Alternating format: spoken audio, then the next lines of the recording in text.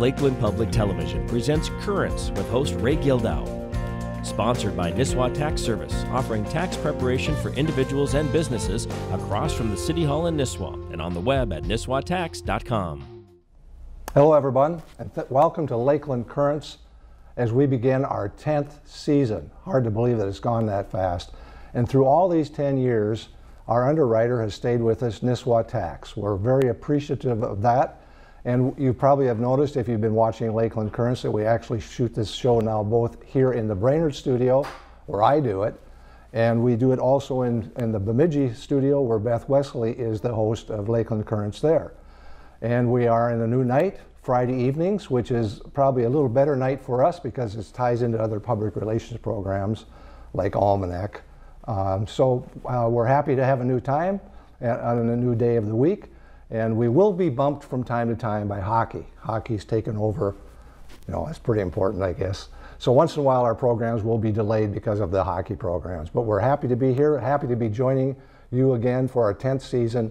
And I'm very happy to introduce to you tonight the new superintendent of schools, Laine Larson in Brainerd. Uh, she comes from the Bagley area, so if, so if some of our viewers are from Bagley, you know that you know who Laine is already. But um, happy to have her here and talk about some of the things that are happening in the Brainerd School District. She's brand new, so she's learning the system and learning people. Uh, but welcome to the show, Laine. It's good to have you here. Thank you so much. It's an honor to be here. Could, could tell us a little bit about your background? Because I, I, know you've spent a lot of time in Bagley, but yeah. what, what is your background? As you started, I, I began my career in Bagley. And I was a family and consumer science teacher for 16 years. And uh, for about the next 10 years, I was in administration. I was an elementary principal, assistant principal, um, assistant superintendent, and all the way to superintendent.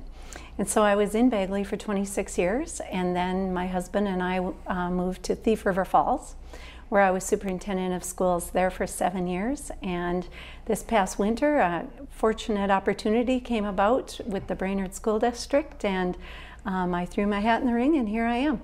So it's an honor to be here. I remember reading in the Chronicle of Higher Education back in the 90s that we're going to be seeing huge shortages of leadership, not only from higher ed colleges, but also from K through 12. Mm-hmm. And I think that's come to fruition. Not only are we seeing leadership uh, shortages, we're starting to see shortages in teachers. Mm-hmm. And to me, there's nothing more important in America than education, and it's a shame to be seeing this happening. And one of the statistics I read last night, I did do a little preparation for this. The average superintendent in urban America is only lasting about three years and six or seven months on the job. That's an incredible turnover. Uh, that's an expensive process. Uh, you're losing a lot of experience in some of these situations, and um, it's it's creating turmoil in our educational system. Don't you think when we have to have that kind of turnover at the top? Yeah, I agree with that. Um, I agree with you in the fact that I think that being an educator is the most wonderful and the most important job that we can ever have. And so it alarms me too when we have such a teacher shortage, um, not only in Minnesota, but throughout the entire nation. And, and it goes all the way through to the administrative positions as well. And it is because consistent leadership, we know, is something that's really important as far as um, building on the strengths of a district and to continue to move forward and do what we need to do on behalf of our kids so that they can be uh, competitive in a really global society right now. What do you think are some of the the global reasons why there's such a big turnover at the top, in, especially in urban America? Yeah, I think that there's just a number of challenges in education today. Um, and I think that the jobs throughout education have become very difficult. Um, there's a lot of diverse needs. Um, I know even yesterday at Rotary, um, they were talking about um, areas like with mental health needs and such that we have. Um, we have a, a lot more expectations. Our kids need to be very competitive in a global society, like I talked about, so the technology is a huge piece. I think the financial reimbursement to districts and living within uh, living within the budgets that we're given make it extremely difficult and um, but I but I still have to come back to the fact that I think it's the most wonderful job that you could ever have and so um, there's a lot of people out there a lot of great teachers that and administrators that are working every single day to make a difference in the lives of our kids and I can't think of anything more rewarding to be doing than to be a superintendent of schools right now.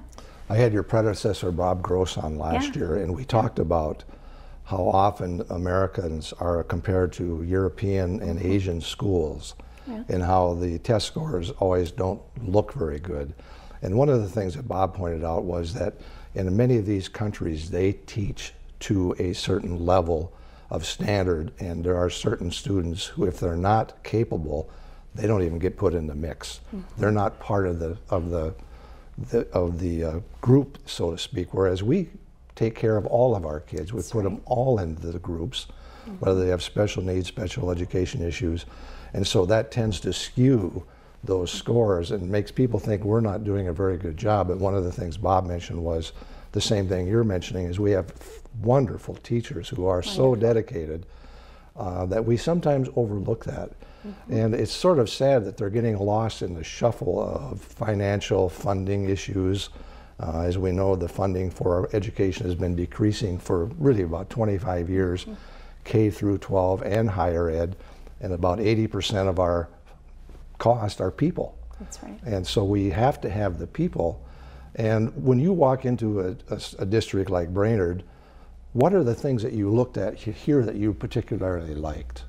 Well, first of all, um, I've had a great opportunity since I've been here in July to meet with a number of community citizens and to meet with my administrative team and many teachers. And there's some common messages that I hear consistently about the Brainerd District. First of all, that the teachers and the employees overall throughout the district are just top notch. They're top of the line, and um, it's just so exciting. Um, a second thing that is a common message throughout is that we have a very strong tradition of excellence in our school district. Um, just last week, um, I was identified by the Commissioner of Education that three of our elementary schools are reward schools, three of the top elementaries in the state of Minnesota. And so we have that tr strong tradition of excellence that we get to build on. And the third thing that I hear overwhelmingly is that we have huge community support. And I'm learning that um, as I meet people and as I experience being the superintendent here, that people really love their school. They're very proud to be Brainerd Warriors and really want to do everything they can to support and provide the best quality education that we possibly can for our kids because they are our future. Now, when you said the elementary schools were reward schools, what, what does mm-hmm. that mean? Well, there's different rankings based on the test scores, and um, this only qualifies for our school district, for our schools that uh, receive title funding. And the reward schools are the top schools that are closing the achievement gaps within, um, whether it's within ethnicity or if it's within special education, if it's within, within gender. Um, but one of the things that we noticed is that within these three schools that we were making huge strides in closing the achievement gap so that all our children are successful and they can live their purpose and so that we can help to give them what they need for their future.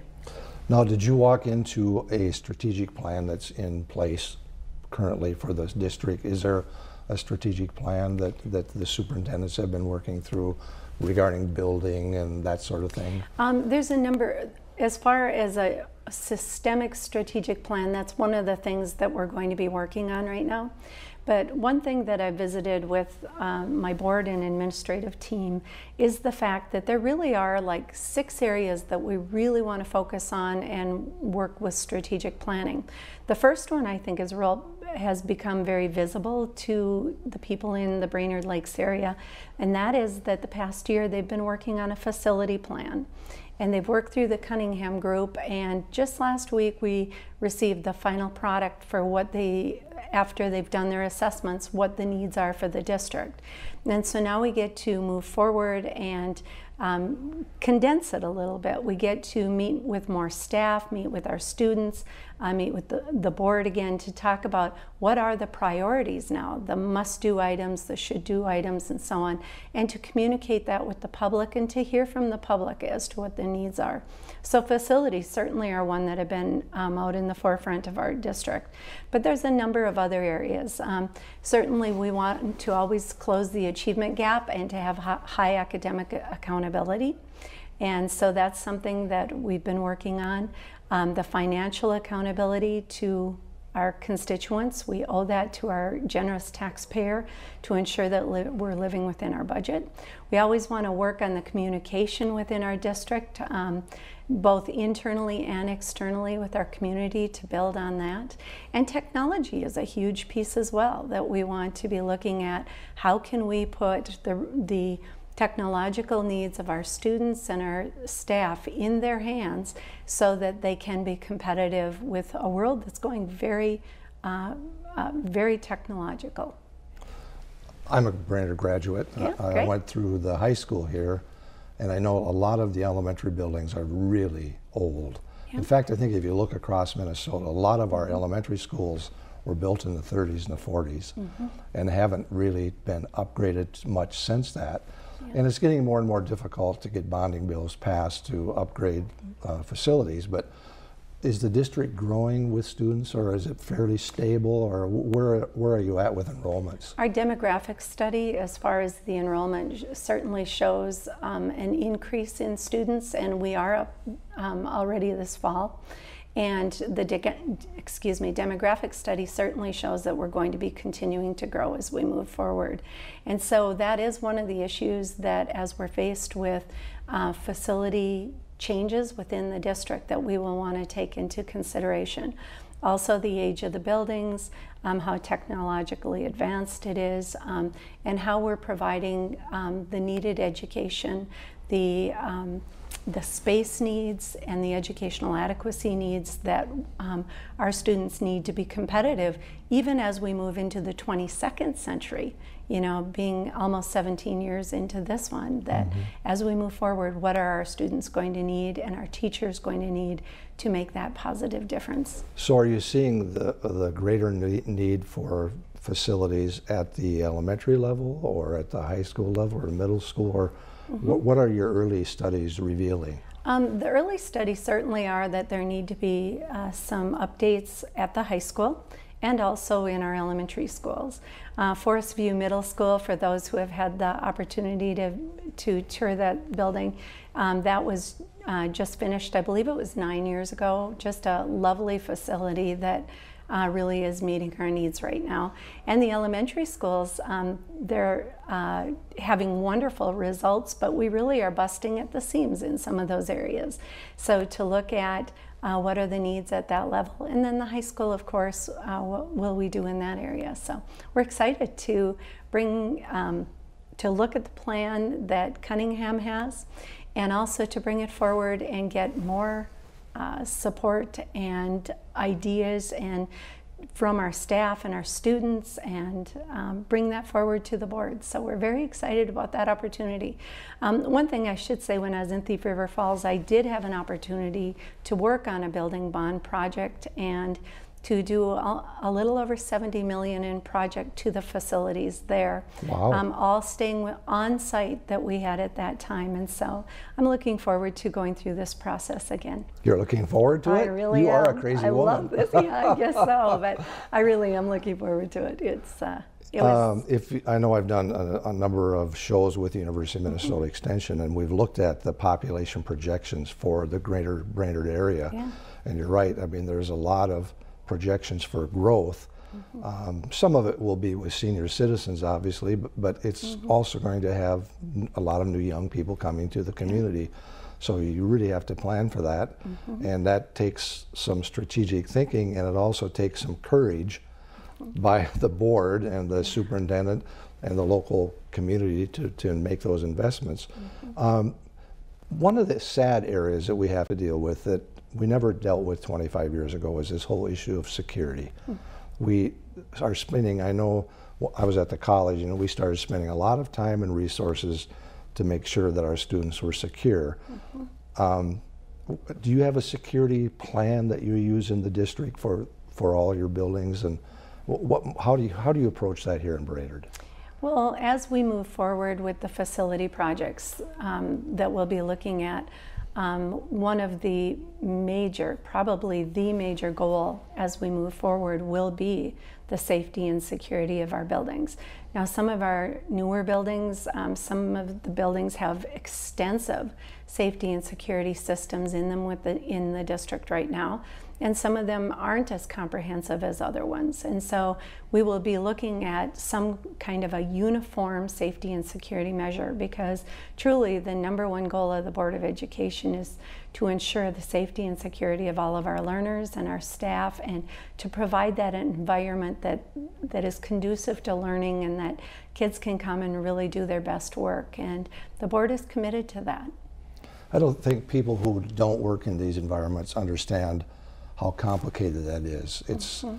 we're public facilities. We're we're trying to be welcoming to people to come yeah. into our buildings, and yet we have to be very cautious and careful. Sadly, yeah. because of what's happened around our country. But I know that's a, a, a very big challenge. Mm -hmm. um, this school district has always had a really good reputation for pre preparing kids for education after high school. I, I don't mm -hmm. mean that they all have to go to a four-year college because they certainly don't. Mm -hmm. But I think that's one of the the real rich traditions of the Brainerd School District that you've uh, walked into, and I think you'll mm -hmm. appreciate that. Yeah. Do you? It, what's your manage management style? Do you try to get out into all the buildings on a regular basis, or how do you operate? Absolutely. I try to be as visible as I can uh, within the buildings um, at the activities outside of school and in the community. Um, to me, that's that's part of the key of, of this whole this whole piece. You you talked about one topic that I think is so neat. Uh, just the other night, I was at a district advisory committee meeting, and I was saying that I couldn't believe how comprehensive it was. The number of people from the community that were really engaged in what we were providing in our district. And we have new legislation through Minnesota within the last couple of years called World's Best Workforce. They talked about just exactly what you're talking about. First of all, what are the standards? How are we meeting the standards in our districts? And taking those standards to ensure that our students have the work ready skills that they need to get good jobs when they leave Brainerd High School. Um, if they go to CLC or another two year college, um, that they have the skills to be successful there. And if they move on to a four year graduate programs beyond that, are we providing the opportunities for them to be successful? That's one of the areas that I get very excited about is that I believe that our staff takes it very seriously, our board takes it very seriously, and our curriculum and assessment committee takes it very seriously um, so that we're ensuring what our kids need to be successful and to live their purpose in the future. That's, I think, really critical, yeah. very, very critical piece. And again, the community support. I just, I couldn't get over how many community members cared and showed up for that meeting. And there's a lot of manufacturing companies in the area, or, or just yeah. businesses that are welcoming to students to come in and sort of shadow what's going on into the places. So that's, you're absolutely right. The, that's really cool. The businesses have been phenomenal. And really that collaboration now between the school district, the college, the business community, and our communities is really what it's going to take to move us forward. We have to work together in a collaborative manner, and I'm thrilled about that. Excited to be doing that. What what is your view of um, the funding that's going to be going on in the next biennium? Do you have a sense? I mean, I, I know that superintendents work together in the state on these issues, but I suppose without knowing who's going to win in the elections, it's hard to get a real handle on what you think might be happening for funding for school. Uh, but do you, do you get a good sense that there's a lot of support to, uh, to continue to fund education in Minnesota in the ways that we need to fund it to keep it going in a healthy manner? Well, you talked about it that we really have seen a huge decrease in funding.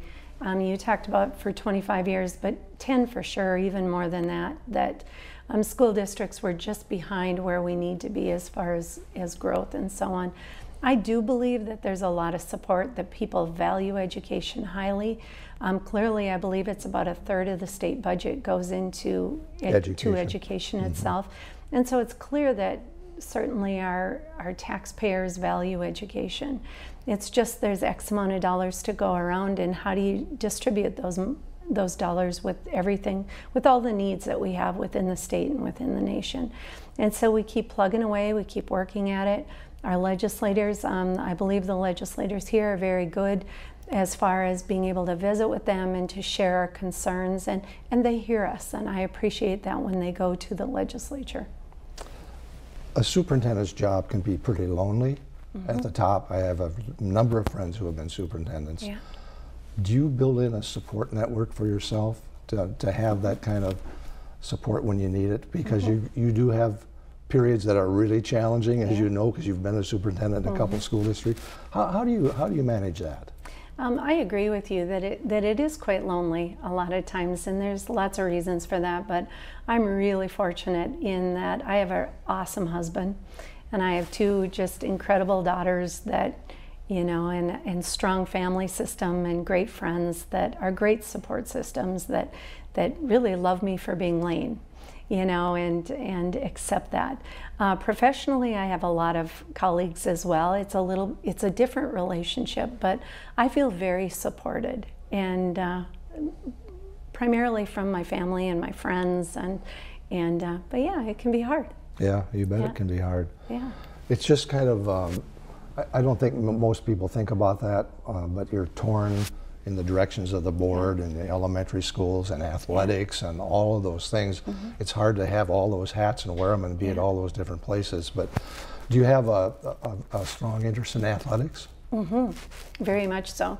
And so that's part of what we do is we just attend a lot of things and we meet a lot of people that way, which is fun.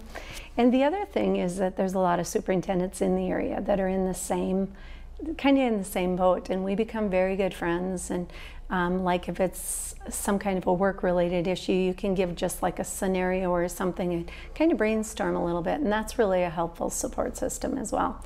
Um, the other thing that I really believe that is strong about Brainerd is we have a really strong and healthy Board of Education and administrative team that I feel really comfortable being able to share concerns or whatever with. And I, and I believe that we're just a really strong team that want to move forward on behalf of our children and to and all of our learners in our district and for our whole community to continue to be a state leader. You and I were both at the same Rotary meeting yesterday where yeah. we heard about one in four Crow Wing yeah. County uh, members has yeah. health, mental health issues. That was absolutely amazing to mm -hmm. me. Mm-hmm. I, I, I, didn't really realize it was that significant, mm -hmm. which also means you have mental health issues with students. Mm -hmm. um, do you have enough help in the school districts to help deal with those kinds of issues. I, I know having been a classroom teacher myself, sometimes when you have issues with two or three students, you just don't have time in the classroom to deal with them. And I know over the past X number of years, there's been many cuts made to counselors. Mm-hmm. How's how's Brainerd faring in that area? I agree with that. That that that really is an area that I that I believe we need to work on. It is providing that support to children and to their families and to our staff um, because there are a higher, much greater need even than when I started. Even when I started being a superintendent 11 years ago, there's a there's a greater need than there used to be. Mm-hmm. And I think providing more counselors, more homeschool interventionists. Um, mental health support uh, throughout our communities is is really an important piece. And I believe that the that the members from Essentia yesterday, when they brought it up, that it really was kind of a rude awakening to everyone about the needs that we have within not only our state but within our nation and our world. And, and I, I don't know if people understand how that can. I don't mean this the wrong way, but it can pull down a teacher's time mm-hmm. with the rest of the kids because it takes so much of their time if they don't have that technical support for those types of students in their classrooms. It makes it very, very challenging mm-hmm. for teachers. And boy, my hat's off to the teachers in the classroom because that is it is such a hard job. Yeah. How are you dealing with many bilingual issues in Brainerd? Um, we have some, we, and then we have the e, our ELL support in, in, department, and so we have some of that. Um, throughout my career um, in education, we've dealt with that quite a lot, and, and we're seeing more of that. You talked, we just have a couple minutes left here, but you talked about technology. What are some of the new things that are happening in the Brainerd district with technology? I know you have a website, but could you just briefly touch on some, Some of the things really exciting things are happening um, within our technology department right now. We've just, um, our, our leadership in that area is really moving forward. Um, we are just going to be uh, showcasing our new website probably in October. We're getting a new communications director here shortly within the district. We um, had all new um, laptop computers put in the hands of our teachers just within this past year. We uh, have many of our classrooms have iPads, computers, we have carts for computers. We're really updating the computer technology within our district. Um, what we need to make sure and to ensure is the fact that we have the staff development to help support our teachers as we move in that direction because a lot of our even our curriculums and such are coming out on technology to save money regarding books and such and so we need to make sure that we have the professional development and the tools available to our teachers so they can do the work that, that they want to do with technology. Will the students have any opportunities for online learning, or is, mm-hmm. We that will be something well. you're doing? Sure. Yep, we already have some of it, and, Oh, wow. and we'll continue to do that as we move forward. And so, um, one of the things that I know is a big initiative in school districts right now is one-to-one technology.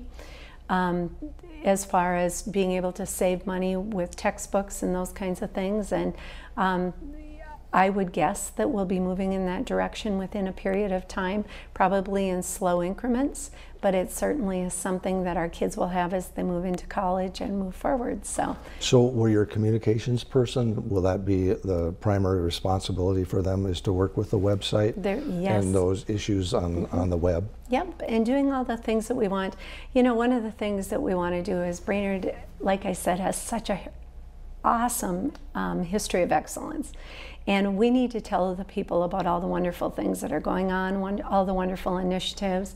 I know I've been throughout the schools just uh, again this last week, and every day I just get amazed by all the great things that are happening. We had Forest Day last week and went through the school forest and all the education that's taking place there. We had Rachel's Challenge this week, and what a wonderful opportunity that was for our kids to do some work with anti bullying. Um, just every time I turn around, I'm learning about the balloon program and um, how the Education Foundation has been so supportive at helping us. And um, so we really want to showcase. We're doing great work here in Brainerd and we're very proud of it. And uh, we, we want people to know how great it is. Well, we're out of time, Well, thanks. but you're not out of time. Okay. And I want to wish you the very best in your job, and uh, you've got a great attitude, and I think you're going to be a real plus for the Brainerd community. Thank you very much. Thanks. It's an honor to be here and Thank you. thank you. You've been watching Lakeland Currents, where we're talking about what you're talking about. I'm Ray Gildow. So long until next time.